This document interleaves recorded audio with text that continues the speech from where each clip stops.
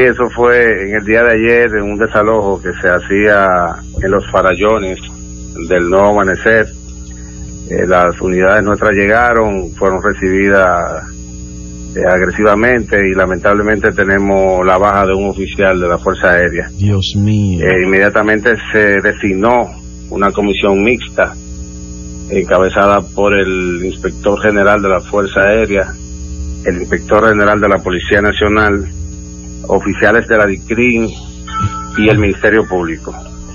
Vamos a esperar que sean ellos que nos den los detalles de la investigación para nosotros poderla ofrecer posteriormente a ustedes. Evidentemente, el oficial de la Fuerza Aérea no andaba con los policías, estaba en el lugar, ¿verdad?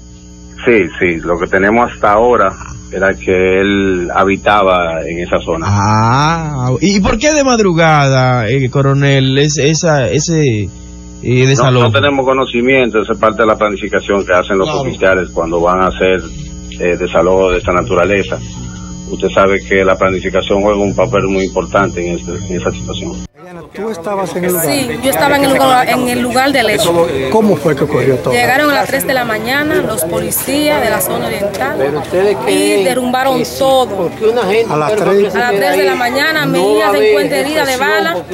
Eh, hay hay personas, personas heridas, hay personas presas y hay un- uno de la, institu- de la institución eh, de la Fuerza de Aérea. las fuerzas aéreas que murió en el lugar del hecho, ¿Cómo murió ese? Con un tiro en la cabeza. Sí, sabemos que fue un tiro en la cabeza. Él estaba en unos matorrales, No, él estaba está en la disparando. calle, no, disparando con nada, porque ah, eh, cuando yo vocié, auxilio, auxilio, él salió hasta descalzo. Cuando él salió, ahí le dispararon y perdió su vida, se desangró ahí mismo. Y él llegó a hablar con los policías antes de... No, porque nos, él dijo, él, eh, eh, dejen salir las mujeres con los niños, dejen salir las mujeres con los niños. Ahí fue que le dispararon y mi hija, y mi hija eh, sufrió el disparo, ¿Qué edad tiene tu niño? 14 años. Cuando ellos llegaron, ¿qué tú estabas haciendo? Estábamos durmiendo, estábamos durmiendo, a las 3 de la mañana estábamos durmiendo. ¿Qué escuchaste? Escuché, escuché. No, que me tocaron, que me tocaron la puerta. Pues, pues salgan de aquí, salgan de aquí. Yo le dije, ¿quién es? La policía. Y dije, ¿pero por qué la policía? Si yo no- aquí no hay delincuentes. Salgan, salgan. Le rompieron la ventana de la habitación mía primero. Le dije a las niñas que se metieran al baño. Comenzaron a tirar bombas lacrimógenas dentro de la casa y yo salí por la puerta de atrás. Ahí fue cuando yo salí por la puerta de atrás, que me queda una calle detrás de la casa. Ahí estaban ellos porque lo tenían rodeado y comenzaron a, a tirar tiros. Y ahí fue que, eh, que ocurrieron los hechos.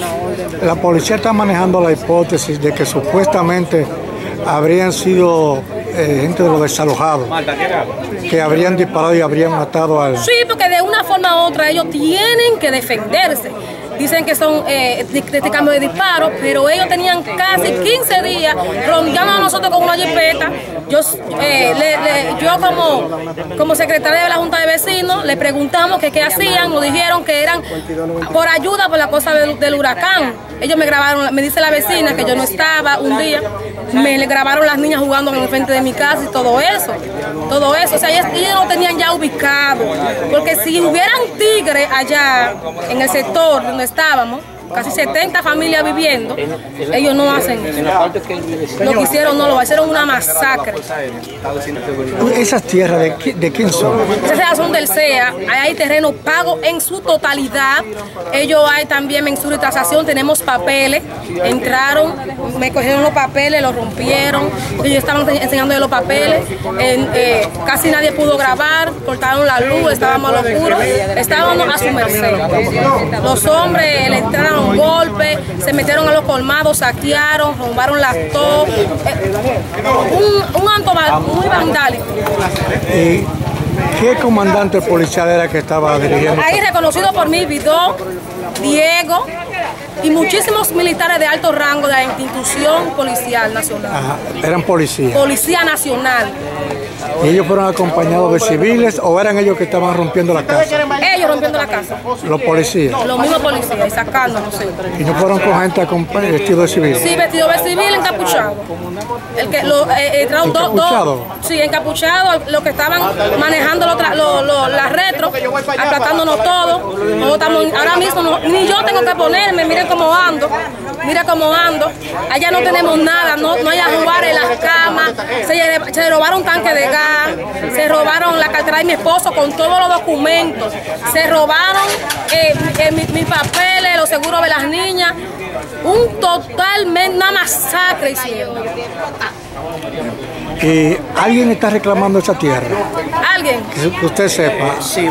Eh, sí, están, están reclamando, están reclamando. ¿Quién la está reclamando? Supuestamente, su, supuestamente, los mismos policías dijeron allá que esto era de una, una, oh, gloria a Dios, una orden de muy arriba. Y yo dije, ¿de quién? ¿Una orden de quién? Nosotros no estamos de acuerdo de esto. Eso fue lo de, de Gustavo Montalvo, supuestamente.